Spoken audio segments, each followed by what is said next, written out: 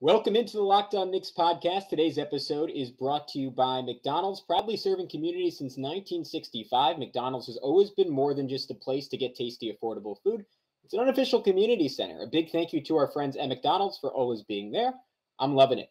And guys, I'm Gavin Schall. Alex Wolf has the day off. So I am joined by my best friend from across the pond, the legend, Jack Huntley, a fantastic, I would go so far as to say elite writer for the Strickland and he came out with, well, has come out with one article recently, is about to come out with another, both of which are really, really good. The first one is all about the Knicks defense. So we do a deep dive on why the Knicks have struggled on that end of the floor this year, including issues in transition, issues with fouling, the adjustments of the new guards, Kemba Walker and Evan Fournier, Julius Randle having somewhat, uh, or at least inconsistent moments on that end, Mitchell Robinson still finding his form, and so much more about the defense. And then Jack wrote a big piece about Obi Toppin.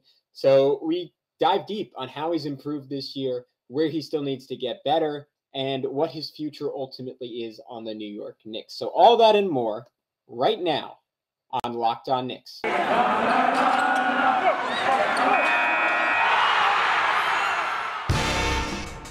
You are Locked On Knicks, your daily New York Knicks podcast, part of the Locked On Podcast Network. Your team every day.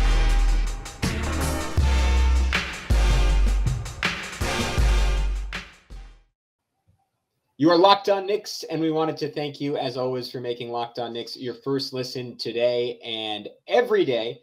I'm Gavin Schall, a play by play broadcaster back to work. Alex Wolf has the day off. So today, I am joined by Jack Huntley from across the pond. He writes about the Knicks at the Strickland. And Jack, I've said it before, I will say it again now.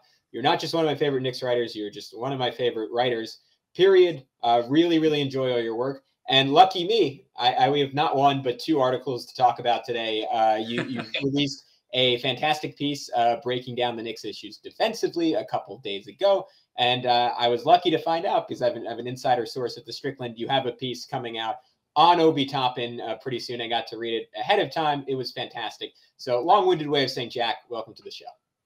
Hello, thank you very much. Um, yeah, good to be here. We'll give Alex a day off, I suppose, once in a while.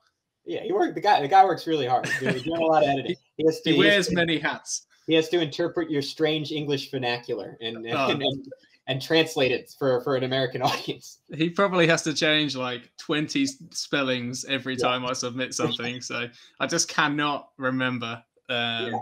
To do it to do it by instinct maybe I'm not. I, mean, I, might not be speaking for the full audience, but I, I find it charming. I, I, like. I like the English. I'm like, oh, that's that's cool. I, I didn't know you could spell it like that. That's fun. We'll um, go with that. We'll go with all right, that. Cool, cool, cool. All right, uh, let's let's get into it. All right, all right, talking the Knicks defense. So the, since you wrote the article, which again was just five days ago, the Knicks uh, defensive numbers have actually gotten worse. They were 20th in the league in defense according to Cleaning the Glass um, when you wrote it. Uh, less than a week later, they're now 25th according to Cleaning the Glass, despite playing uh, the uh, like B version of the Sixers the other night. And it's I, I think you, you get to this point in your article, but it, it's hard to pinpoint one specific thing, right? You could say the transition defense, you could say the fouling, you could say miscommunication in, in terms of switches and in terms of what, what to do on, on, certain screens. You could say general laziness. You could say Mitchell Robinson not being at 100%. There's a lot of different directions you could go with it. But Jack, if I were to just put it to you like this, how would you sum up the Knicks defensive issues? What would you say? I mean, like you say, there's no one single dominant factor. I would say it's sort of a melting pot of uh, uh, of various issues, some predictable, some not. I mean, I think the biggest issue is just the raw fact that you're incorporating essentially three new starters into a scheme that's very difficult to execute properly and consistently. Um, and that has been sort of the main issue. And I'm not so worried about it long term for that reason. I think Thibs has enough of a track record where he is going to get them to nail these rotations. It's sort of it's interesting because after writing that, I was obviously it's a big sort of talking point at the moment on Twitter, and it kind of mirrors what happened last year. So if you look at our shot distribution at the moment, our defensive shot distribution, we are allowing a ton of frees. Um, and that's the same thing that happened last year. But last year, opponents shot really badly on those threes. And then after 28 games, the defense sort of ticked up and we cut down the number of attempts. And at the same time, opponents started shooting better. But the defense didn't move. So we were third before and we were third after. So the regression happened in season, but because we were executing the scheme better, it didn't show. And I think the same thing is going to happen this year, where initially, you know, there's a lot of errors, there's miscommunications. Um, but what you'll find is, and the tell will be when the defense is getting better, is that those three point attempts will come down because the closeouts will be crisper. They'll be running guys off the line and funneling them towards uh, Mitch and Noel in the middle. And, and that that is, in essence is the scheme. I think it will be all right. It's just a bit it's a bit dodgy at the moment. Yeah, I think I mean it's the perfect conjunction of of again guys adjusting to a new scheme and I think personnel drop offs and maybe this this is something everyone noted, but maybe something that they underrated, like going from Kemba Walker to like I shiver to say it, but uh, or from Elfrid Payton to to Kemba Walker, which again should in no world in, in no context should be a drop off, but you're losing you're losing some size there.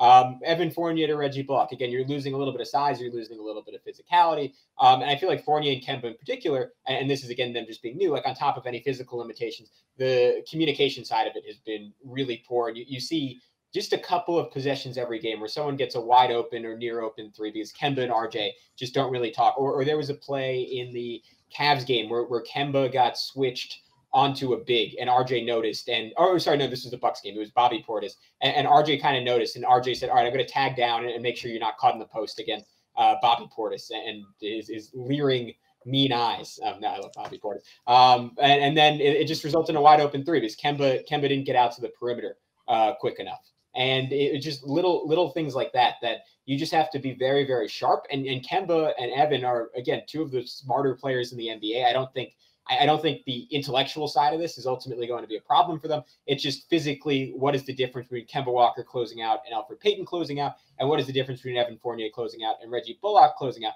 My bigger concern is actually something you didn't touch on all that much in the article, and, and that's more so Mitchell Robinson. And I think he is someone who, uh, in, in my preseason prognosis for the Knicks, I was saying there will be these issues Mitchell Robinson will be there to clean up a whole lot of them with his mobility and with his added size. And we've seen the added size. He's done a much better job against behemoths in, in the post, not getting bowled over. Still a fantastic shot blocker around the basket. But the the mobility that defined his game, I, I think, is if not entirely missing, then significantly diminished. We saw uh, Evan Mobley just absolutely torch him the other night when he when he got caught on the wing, just to rip through right by him for a dunk.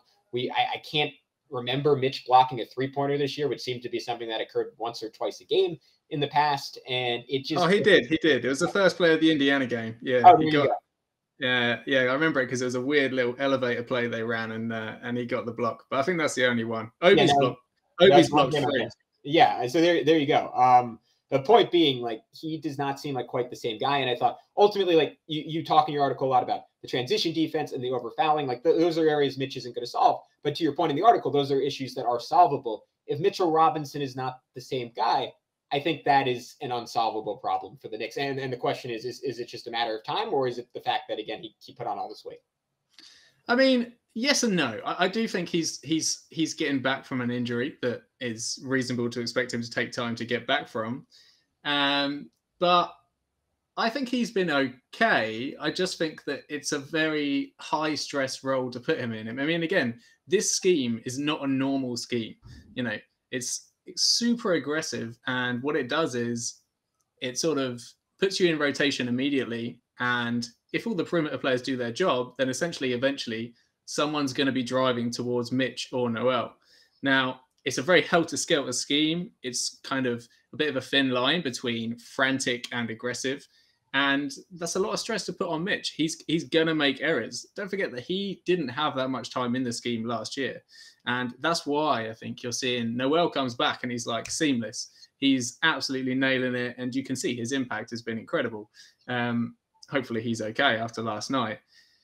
I mean, I, I do think there's physical limitations for Mitch, but I think as the scheme beds in generally with that starting unit and he finds his feet, I think he'll be all right. Maybe he won't be exactly the same guy, but you know, him and Noel playing 48 minutes, I think is going to be is going to be well, it is by design the yeah. backbone of the scheme, and I think, I mean, maybe I'm just being overly optimistic, but I think it's gonna it's gonna get better.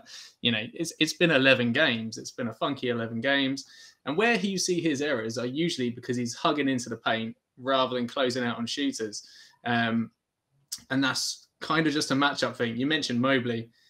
You know, Mobley's just he's a, he's just a freak. You know, he's awesome already on both ends. so. That's kind of my point. Mitch is Mitch was supposed to be that guy, right? Like, not in terms of draft pedigree, but Mitch was Mitch is like like him blocking Harden step backs as a rookie. Like he had those freakish qualities as well. Now I'm like, has he gone down just a, a drop on that like insane athleticism meter? Or, or maybe, yeah, is, yeah. That, that's sort of my question. But if you uh, if you watch like those, I mean, the Turner three, that that was sort of an inflection point for the the narrative on Mitch this year.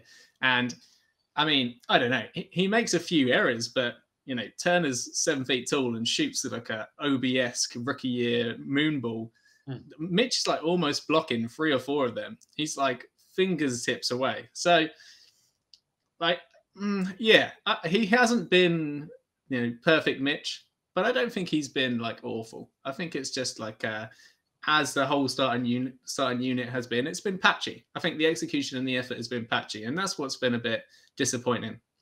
Yeah, I think I think my underlying premise is like the Knicks almost and and maybe not because obviously they didn't give Mitch the extension, so maybe that that says a lot about what they thought about him.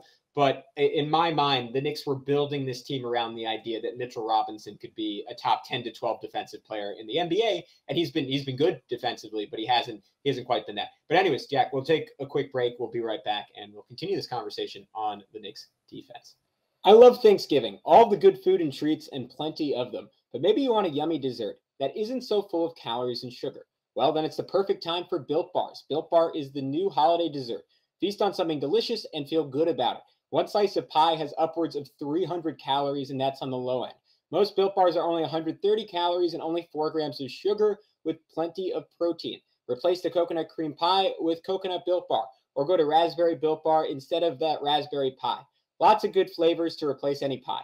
low calorie, low carb, low fat, high protein. Covered in 100% real chocolate Built is the is a great option for when you're hungry. If Thanksgiving isn't coming soon enough, just go for a built bar or two now. Share some at your family gatherings. It makes things less awkward. Maybe Aunt Betty hasn't tried a built bar quite yet. New surprises all month, limited time flavors arriving at built.com regularly, so check the site often.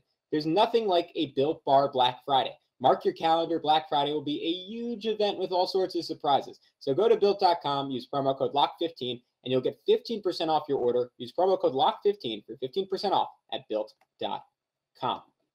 All right, welcome back into Locked On Knicks. Once again, we wanted to thank you for making Locked On Knicks your first listen today. And every day we are available on all podcast platforms, including, and you know this if you are currently watching, on YouTube. And I am joined by my favorite Englishman, Jack Huntley. Shout out, Jack. Um, let's let's let's keep going. Uh, so we were talking Mitch a little bit. You mentioned Nerlens. Um, just in in three games back now, Nerlens has made um, again not in terms of the team's overall ranking, but seemingly every time he's on the floor, um, a massive massive difference. And I think a lot of it is like you can preempt a whole lot of defensive issues if you're forcing turnovers, right? Like that's that's just five or six extra possessions a game. I think Nerlens' first game back, Fred Katz had the stat. He had something like 12 deflections. Like in an average year, the NBA's league leader has four, um, which is uh, per game, which is just nuts. Um, and and you can you're just removing however many chances that a team has to to torch Kemba Walker or to beat Evan Fournier around a screen or to count on Julius Randle, as you note in your article, not moving as fast as he ideally should be moving. Um, what, what have you seen from Nerlens since his return, and how do you think that could potentially shape the Knicks defense if he continues to? I mean, I guess pending Mitchell Robinson play more and more. I mean, I so I, I was not the, the biggest fan of Nerlens last year just because of you know his sort of the paradox of his two way hands.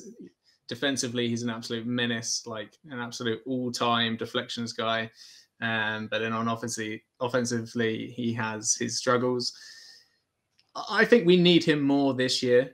You know, this this team's third in offense um, and hasn't even played that well on offense yet, I would say. You know, offense is not an issue. So 48 minutes of Noel and Mitch is going to be the thing that sort of defines how how good the defense can be, and then you know, in turn, how good we can be as a team. I think Nerlens is really important for that um, because he is an elite elite rim protector. Um, and he's very destructive and he suits the scheme and he's sort of well practiced in it. The only the only thing that's the problem with him defensively, I think, is certain matchups he just can't handle. You know, if, if it was him instead of Mitch against Valanciunas, he would have been absolutely torched. You know, and he struggled a little bit against Drummond just on the boards. He's he's just really small. You know, he's slender. Um, but overall, I've been yeah delighted with how he's played, and I think he's he's more important this year than he was last year because his offensive limitations um, aren't felt so much because we really just are not struggling for playmakers as we were last year. All right, let's talk uh, Julius Randle a little bit because I, I, mentioned it before, but you you noted his his movement speed in your article at the time. He was he was literally in terms of um, I think total miles traveled per game. Um, he was last on the team. I, I checked it out. He is now second uh, behind Kevin Knox. Um, and I was I, I, looked at that and I was like, oh, that makes sense. That Come makes on, Kev. Yeah, um, yeah, that is that is that has been the defining. If you want a defining statistics of the Kevin Knox uh, story, it's just like he doesn't really move that much. He kind of just he kind of just yeah. is little little tortoise esque. Um, but uh, Randle, and, and you know this in your article too, a season ago, he was also the slowest guy on the Knicks. And, and, last year, he was getting all the plaudits in the world for his defensive work. There were advanced statistics that painted him as one of the, the single most impactful defenders in the NBA. I thought there was some noise there. I thought it was more about the surrounding pieces and that he was, he was merely, he was, he was good a year ago. And this year, it feels like there are moments where he's good and he's, he certainly has fantastic talent defensively. Like like you put him in isolation against a high level scorer, like he will he will hold his own in a competitive moment. It, it's more so the the moment to moment awareness, right? It's the not complaining about a foul on one end and getting back. It's not getting back cut when you're when you're looking another direction. And I I'm of the opinion that that'll continue to get better. And I think as things continue to flow for because clearly like a lot of this is like frustration from the offensive end translating over to defense. And last night we saw him have a spectacular night offensively. I can't say I watched him every single possession on defense. Um, and I know uh, Georges Niang got him a couple times, which is not good, but he was he was by and large pretty solid. Um, but but what do you what do you see from Randle? And, and to me, I think it's it's less so like I mean like obviously it's to cut out the bad plays, but you want more proactively good plays from him because you you're sort of relying like like the premise of this team defensively is again the guards are probably not going to be great at least in the starting lineup. Three, four, and five need to be really really good. I mean, yeah, you know, Julius is you know he's never going to be the you know the best defender on a team. His role on this team is to is to you know execute consistently and make the right reads and put in the effort. And he doesn't have as much of an excuse as the new guys, obviously, because he's used to the scheme. He should know, you know, where he has to be. And last year, I think thought he was okay. You know, he was he was pretty good. He is not the most positionally instinctual defender, um, and I think that's where he gets found out um, because he's often a beat behind the play and he has to react. And that's where you see him sort of overcommit, undercommit, uh, a bit of hesitation he's much better when, like you say, he's just in isolation and he can use his body, use his frame, use his quickness. He's got one job, that's to stop a guy. That's fine. Um, but as a sort of symptom of the whole team, I think you're right. He is the most blatant example of how the offense affects the defense when it's going well and when it's not going well. You know, when we're humming on all cylinders offensively, I think we have a tendency to let the foot off the gas defensively and sort of get a bit complacent, let up a bit, and then you know leads are just disappearing like sand. Whereas last year you just couldn't do that, and you know that habit, that reality, helped forge the consistent execution that you needed for this defense. Um, and Randle, I think, is the biggest culprit. He also has the biggest pass because he has the biggest load on offense, but there's like a nice middle ground there. You just can't be moaning about every call. You know, when you turn the ball over, you can't just be jogging back. Um, he can take time off, but he has to do the little things. You know, the effort stuff is is non-negotiable. Um, so yeah, I mean, I'm not super high on him as a team defender. I think he's good individually, but as a helper, he's never been amazing. But I think he can be a lot better than he has been so far this season. And to be fair to him, the last few games, I think he's got a bit better. Yeah. All right, let's let's end this defensive conversation on a positive. I, am really optimistic about the bench on defense. They were they're very solid a year ago. Basically, return all the same people, and I think Immanuel Quickley and Obi Toppin, and, and this will move nicely into our Obi Toppin conversation, but I think both of them have made pretty significant strides on that in the floor. And not that Quickley was like terrible, especially by rookie standards a year ago, but he just seems more consistent in everything he does. And, and, and the reads he's making and leveraging his wingspan. And and you you see you see moments. I, I know in your article you highlighted one where like he, he just got too sort of ahead of himself and got caught up in the backcourt, was over aggressive and just got blown by.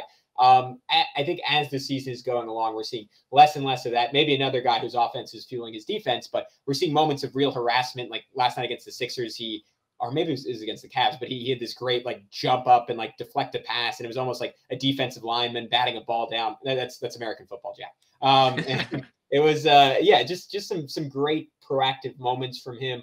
Rose as well has been, I mean, a little inconsistent. Like Ricky Rubio was, was, was torching him, but that was that was. I'm going to write that off as an aberration a little bit. Um, and then and then to your your beloved Obi, um, I, will I'll, I'll leave the floor to you. He's, but he's he's been again not who we thought he was going to be coming out of the draft on defense. Yeah, I mean, I'll just touch on sort of Quickley and Rose and the bench unit. I, I think they have been better defensively than the Stars, um, but I would caution that they have been sort of um, aided. It's been inflated how much better they've been than the starters because all of the bad shooting luck has happened to the starters. There is a huge discrepancy, and I think this is why all the on-off numbers for the starters and the bench are pretty much like a mirror image of each other. The bench is much better; it's all on defense, and whilst I do think that's better execution, familiarity with the scheme, there is massive uh, a massive discrepancy in three point shooting, opponent three point shooting between the bench and the starters. And I think that will even out as the season goes on, and then it'll be a bit more representative as to what the actual gap is defensively between the two. Um, I do think IQ's been good. Um, I think he's got a lot better, but yeah, I don't think it's as. I mean, I think on cleaning the glass, it's like 99th percentile difference between Derrick Rose and Kemba Walker. There is a difference, but it's not that big, in my opinion. Um, but yeah, Obi, Obi has. I mean, you know, he's been a breath of fresh air just generally, and you know, it's a good segue because if we're talking about the team's offense influencing its defensive effort, that just does not happen with Obi. He plays every single possession exactly the same disposition. He's 100 miles an hour, active all, all the way through, no matter what. And uh, yeah, it makes it really easy to root for him and extremely enjoyable because uh, he's playing so well at the moment. All right, well, we'll let's get into it. We're going to take our second and final break. We will come back. We'll talk more Obi Toppin. We're back and better than ever. A new web interface for the start of basketball season and more props, odds, and lines than ever before. BetOnline remains your number one spot for all the basketball and football action this season. Head to our new updated desktop or mobile website to sign up today and receive your 50% welcome bonus on your first deposit. Just use our promo code Locked On to receive your bonus. From basketball, football, baseball, postseason, NHL, boxing, and UFC, right to your favorite Vegas casino games. Don't wait to take advantage of all the amazing offers available for the 2021 season. BetOnline is the fastest and easiest way to bet on all your favorite sports. BetOnline, where the game starts.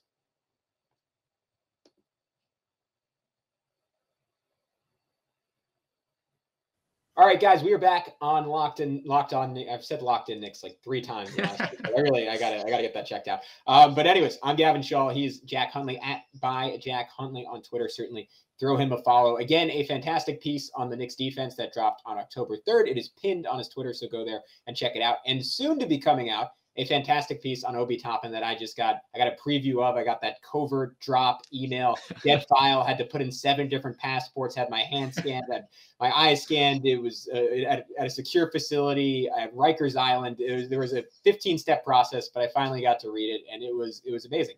Um, but and Jack, I'll start here.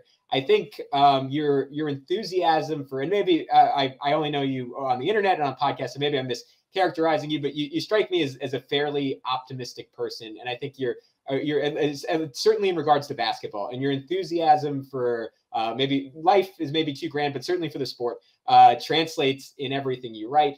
I think it really translates in this piece in particular because Obi is such an inherently joyful player who sort of brings like the very like base enjoyments of basketball, like Obi Toppin encapsulates all of them. And I think that really comes through in your writing. So I will I will start off here. What what delights you the most about Obi Toppin?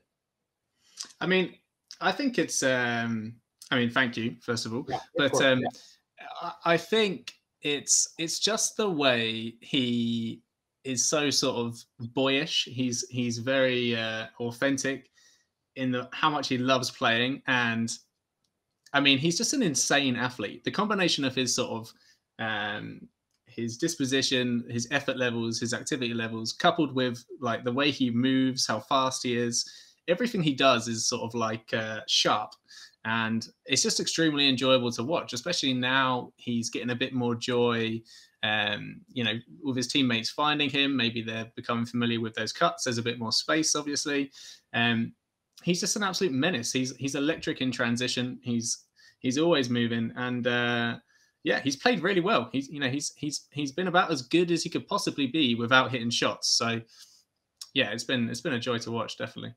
Yeah all right. So you talked a little bit about his defense but where do you think the biggest improvements are for him offensively this year? Because for me, I'm I'm almost conflicted on if he definitively got better or if it's more so that he's finally being used in the right way and being allowed to be a rim runner, um, particularly with Immanuel Quickley. Um, obviously, last year he was already on basically the same bench unit, but getting some minutes with hybrid lineups with starters where, where he constantly has good shooting around him, constantly has like like never not that he played a ton with Elf last year, but never has to play with Elfrid Payton, right? It's always it's always Derrick Rose, Immanuel Quickley, um, there, it, it, seems like his environment has certainly gotten better. But I'd also argue like this is a guy who, again, in the jump shot hasn't shown the way it has or it did in summer league, but just definitively has rounded out different portions of his game. Like the ball handling is a little bit better. He seems so much more decisive attacking closeouts. Last year, literally his only move was that fake dribble handoff, and he would do it even when there wasn't another player coming around for a handoff. And it was, and it, it kept working because it was so like his just jolting movements were so shocking that it, it kind of caught defenders off guard regardless. But this year, he's just it just seems like he's that much quicker in everything he does, and he's he's figuring out for a guy with a somewhat limited skill set offensively how to fully leverage that athletic ability. Yeah, I mean he's just I mean the main thing is he's an incredible finisher. So yeah. um that you know was the whole book on him coming out of the draft. That was the bankable skill. That was you know he was a Amar'e esque type finisher, and know so far this season he's been incredible. It's not just dunks. You know, he's he's making these sort of uh, drive into a defender, hang a little bit, and then just put up a little baby jumper. He's contorting himself for these obscene layups around people. Um, and yeah, it's the pressure that he puts on the rim. You know, even when he doesn't get the ball, his cuts are, you know, getting defensive attention. And it's constant. It's, it's every possession all the time. And if you're IQ or Rose, who he's had incredible chemistry with since day one, you know, it's just it's just an easy play to make, and it opens up the floor for everyone else. Um, defensively, his his um, his improvements of, I mean, I think he's actually a really good team defender. We were talking about Randle earlier.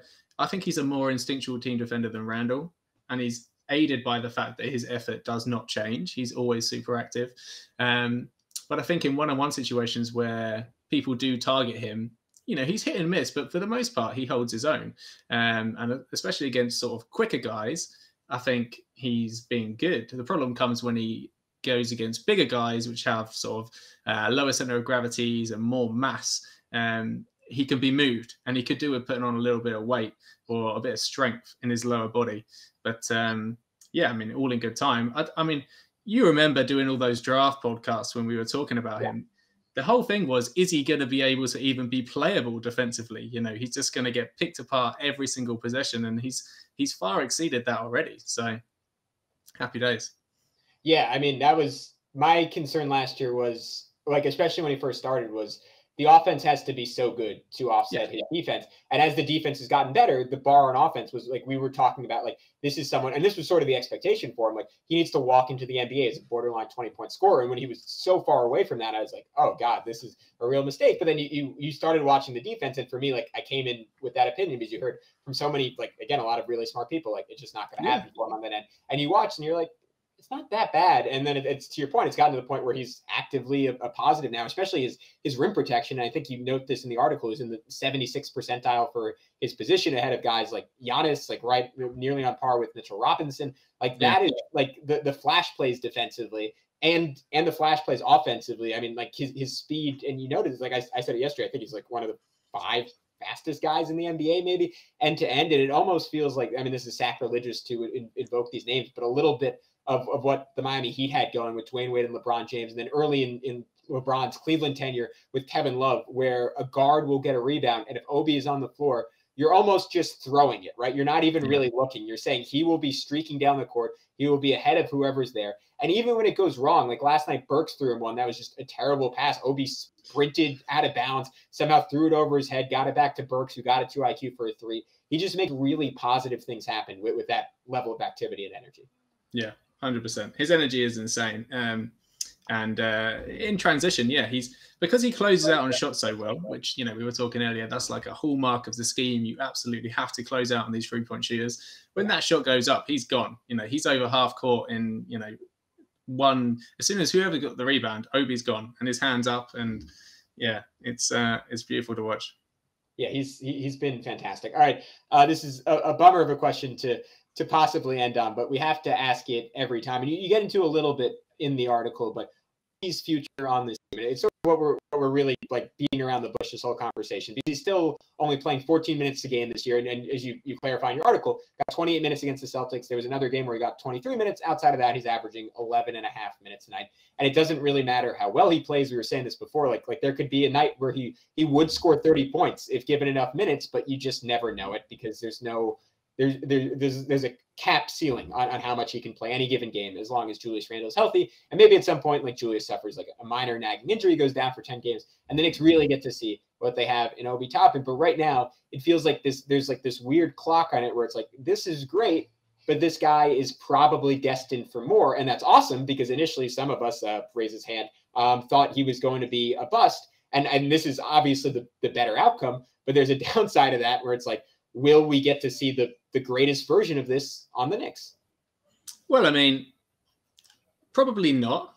You yeah, know, it's your best player plays the same position, so no, you know, it, it, they cannot coexist as the as like actualized versions of themselves on the same team. Really, I mean, small ball's a great idea, and there is definitely a role for that. I think it can work. I think it can be a get us out of a big hole um, when we're down, say 10, 15, 20 points, that can be something that you turn to.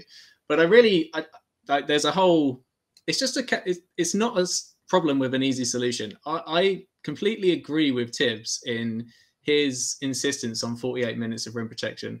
Like we were saying earlier, especially this season, we've got three centers on the roster who are really good defenders. You know, whilst they are there and whilst we are playing this scheme, which was worked, it worked last year with the third best defense in the league. You have to have that rim protection. Offense is not a problem at the moment. So, you know, doing something just to get Obi more minutes at the expense of the general context of the team, which at the moment is offense great, defense not so great.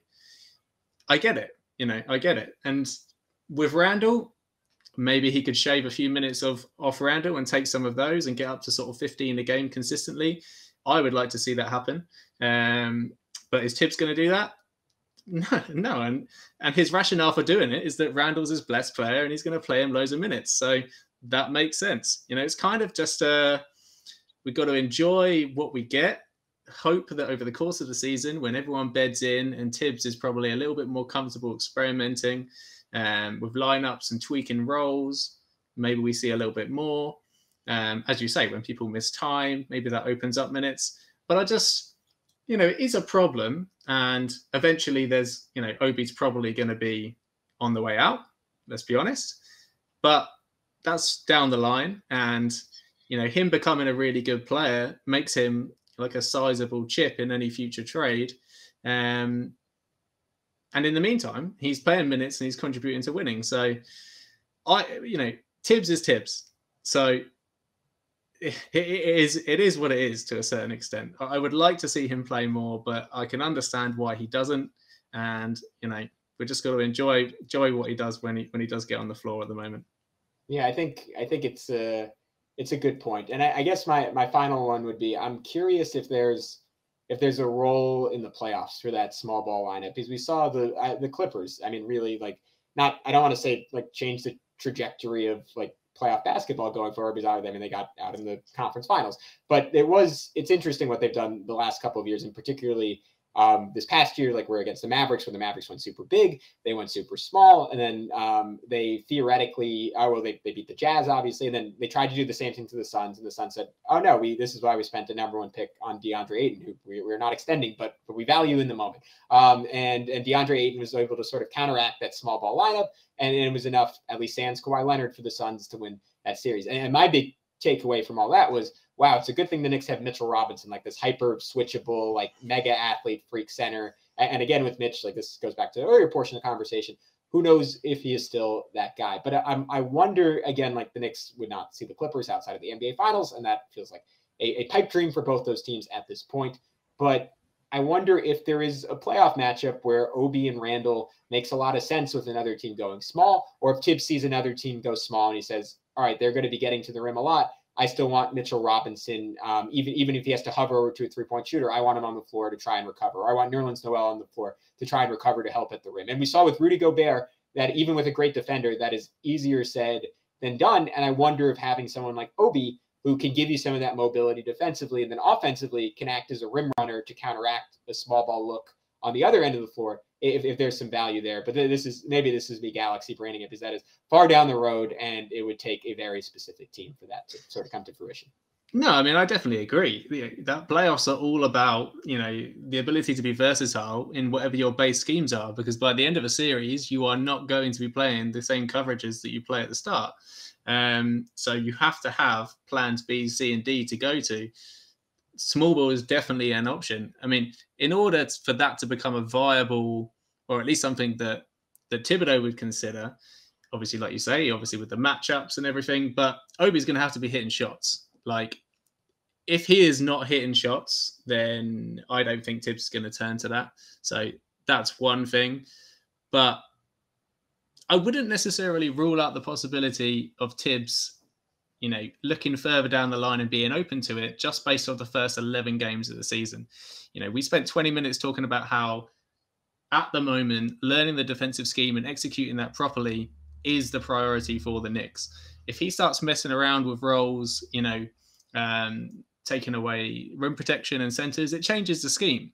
And so I think it, after sort of game 40, 50, we might see a little bit more um, of that Obi Randle look, as long as the defense has shown itself to um, be effective, sort of like it was last season. If you nail down the scheme, then we can look at something else. But until we execute that properly, it's just not something that Thibs is going to prioritize getting reps at. Um, again, it's a good problem to have, but let's just wait and see how we're looking after sort of 50 games. Um, and then, yeah, like you say, in the playoffs, it's a completely different ball game. And you know what, what happens and what works and what doesn't work in the regular season, like we saw with the Hawks, it doesn't apply over the little um, bubble cauldron that is an individual playoff series. So we'll see. We'll see. Yeah, I think I think we were both sort of the same mind. Whether it's the playoffs, whether it's the regular season, I think Obi Toppin might be a 30 point game. It might be a giant fourth quarter. I think he he's going to have some moments for this Knicks team. But Jack Huntley, that is a good of a note as any to end on. Uh, really appreciate you joining me. One final time, can you remind everyone, even though it's right in this graphic, uh, where they can find you on social media and, and all the great stuff you, have done on the Strickland? I mean, maybe even going further back, because I think, again, all, your articles absolutely worth reading. Uh, I mean, thank you very much. Uh, it's been a pleasure. It's always good to hop on. Um, so it's at by Jack Huntley uh, on Twitter. I write for the Strickland. I mean, just to plug everything the Strickland's doing at the moment, we've uh, got a Patreon this this year. So um, check that out. There's some great content on there. We've had some awesome guests on some of the podcasts um, uh, on there with Schwinn and I know Dra- Draft Strickland and Prez had a special guest on yesterday that you probably want to check out. Yeah. It's very uh, uh, Toppin related. Yeah, so just plugging everything that they're doing over there. And um, yeah, check out my stuff. Thank you very much for listening. All good. Um, the sky isn't falling. We'll be all right. We'll be all right. You love to hear it. All right. Thanks so much, Jack. And that is it for this edition of the Locked On Knicks podcast. Again, if you're not already, please subscribe on YouTube, subscribe on your podcast platform of choice, and leave us leave us a five star review. If not for me, then then for Jack. He really gets down when, when we don't get five star reviews. All right, and we'll talk to you all.